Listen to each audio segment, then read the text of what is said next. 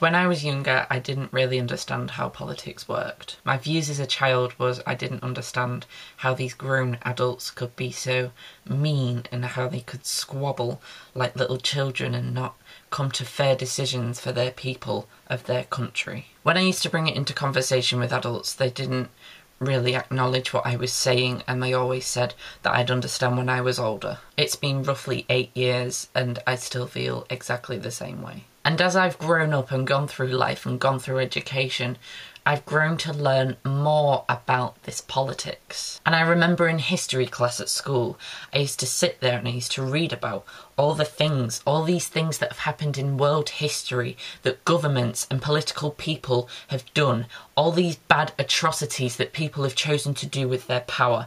I used to get so riled up, just this burning feeling inside of me, just anger and upset at how people could actually do this. And how the people, the civilians, the people who live in the country are referred to as a statistic just a side effect, just a byproduct of these power struggles between all these big names. There is no such thing as a fair leader in today's politics. There isn't. Even in a democracy. Democracy works in theory, but does it hell work in practice? Politics today oozes corruption. There is not a single shred of today's politics that has some fairness, some dignity, unless we push and push. Why are we doing the pushing? Why are we protesting? Protesting? Why are we campaigning when they can do it at the flick of a wrist? Why do we feel so powerless when it comes to decisions that affect us directly and not the people who are running the country, who run the laws and choose the laws and say what goes just on their basis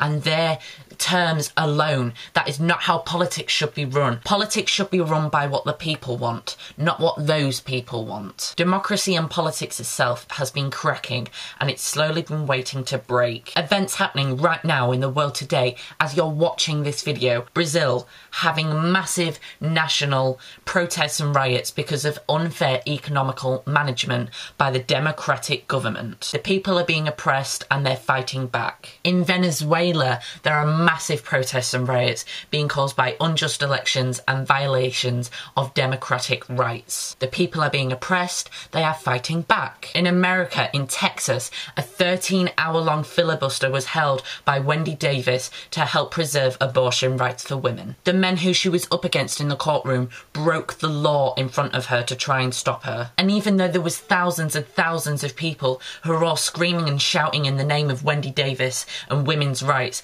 and the rights of the people, those few men in that courtroom were the only thing stopping us from getting that. There was chaos in the courtroom, people protesting outside, and thousands and thousands of people giving their support online. The people were being oppressed and they fought back. In Greece, they're in economic crisis, and a party with very similar views to the Nazi Party are putting members of the LGBT community in concentration camps grasp that. There is a lot of uproar in Greece right now. People are being oppressed, they're fighting back. In Russia, anti homosexuality laws are being drafted up which directly affect the safety and the rights of all LGBT Russian members. Just five of the massive things happening in the world. Now, here's the sinker barely any of these issues have been covered on TV news, in newspapers, none of them. So, how do so many people know about this? How is this news travelling? And the answer is simple the internet. The internet is a beautiful place to be right now.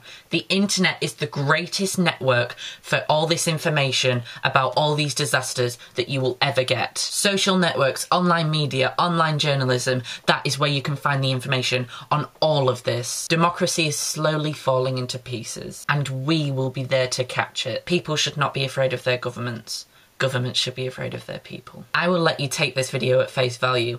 I will let you do what you want with it. We are changing politics right now as we speak. History is being made because we are working together. Do not think that the internet is powerless because it is not. It's the biggest communication tool we have. We are so big, there are so many of us, we are unstoppable. The people who are meant to represent us have failed us. The cracks that are oh so deep in democracy make us question whether it really was uncracked. Does a mother give a dummy or a pacifier to a child because she feels it needs it or because she wants it to be quiet. Raise awareness and spread the word for those who don't know on all the things that are happening in the world right now. We are big, we are powerful, we are unstoppable. Be strong, be brave and be bold because it's time for change.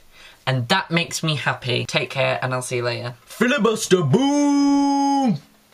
That's a wrap. I'm done. See you later.